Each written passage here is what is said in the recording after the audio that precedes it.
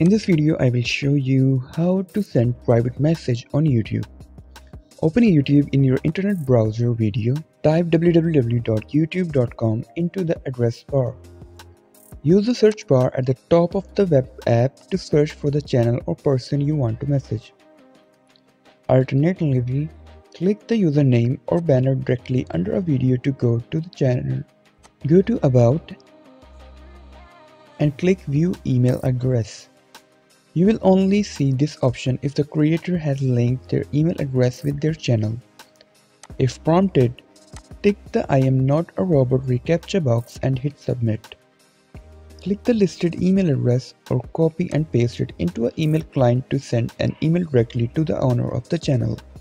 If you do not know how to send an email, so the link will be found in the description. You can go there and see how to send email. To send a public chat instead, go to the community tab on their YouTube channel and leave a comment on any of the posts if they have any. However, the messages you send here are in private and everyone can see them. There is also a problem with this video, so ask about the comments. Any problem related to social media and internet, let them know in the comment bar so that a video can be made on it. Please like this video and subscribe our channel and press the bell icon for any updates.